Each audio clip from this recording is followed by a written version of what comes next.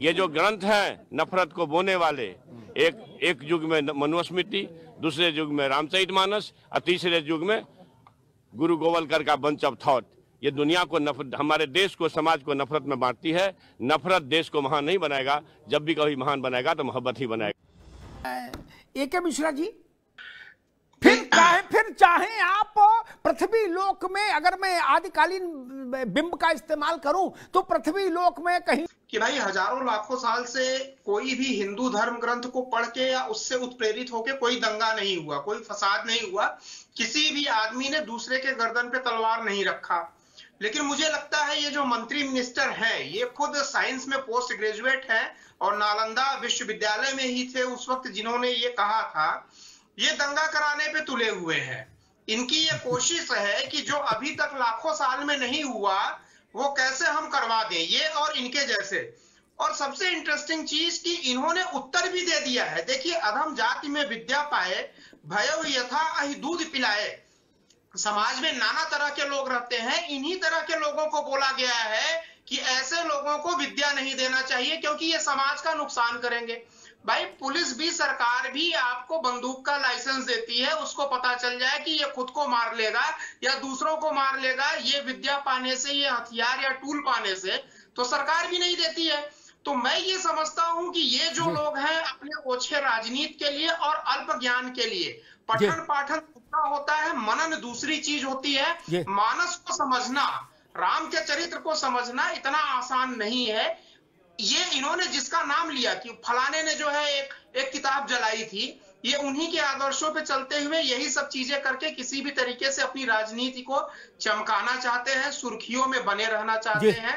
इससे न मानस का नुकसान होगा न प्रभु राम का होगा न समाज का होगा। अमिताभ जी बात आपकी सही है।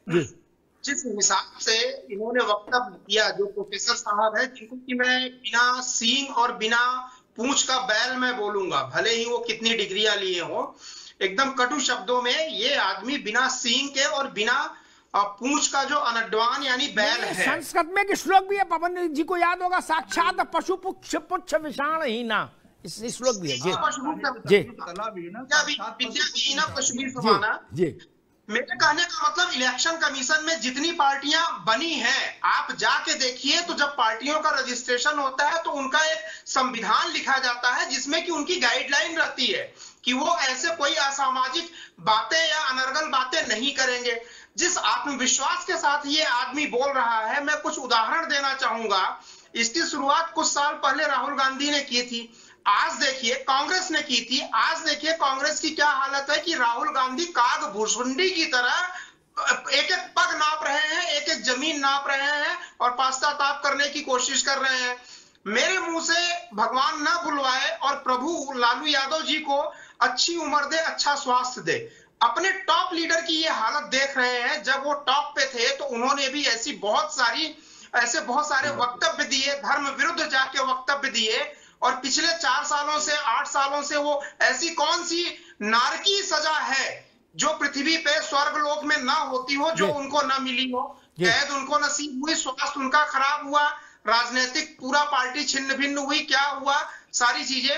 हमारे कहने का मतलब प्रभु श्री राम से जिसने वैर लिया आधुनिक संदर्भ में अगर हम देखें पहले की तो सब जानते हैं चाहे कांग्रेस पार्टी रही हो ज़मीन पे आ गई है पूरा भारत उनको घूमना पड़ रहा है और पास्ताताप के लिए हर भाषण में अब वो राम राम राम राम बोल रहे हैं। ये हालत इनकी भी होने वाली है ये जो प्रोफेसर साहब है जो पशु भी समाना है जो आप लोगों ने बोला तो इंतज़ार करिए प्रभु भी न्याय देता है। भारत के जनमानस के साथ अगर आपने खिलवाड़ किया है मानस के साथ रामचरित मानस और प्रभु राम के साथ खिलवाड़ किया है तो इनकी भी उम्र कोई बहुत जल्दी नहीं है। और सठे साठम समाचरित भी हमारे धर्म ग्रंथों में कहा गया है दुष्टों के साथ दुष्टों से करना चाहिए। ठीक बात ठीक बात मिश्रा जी।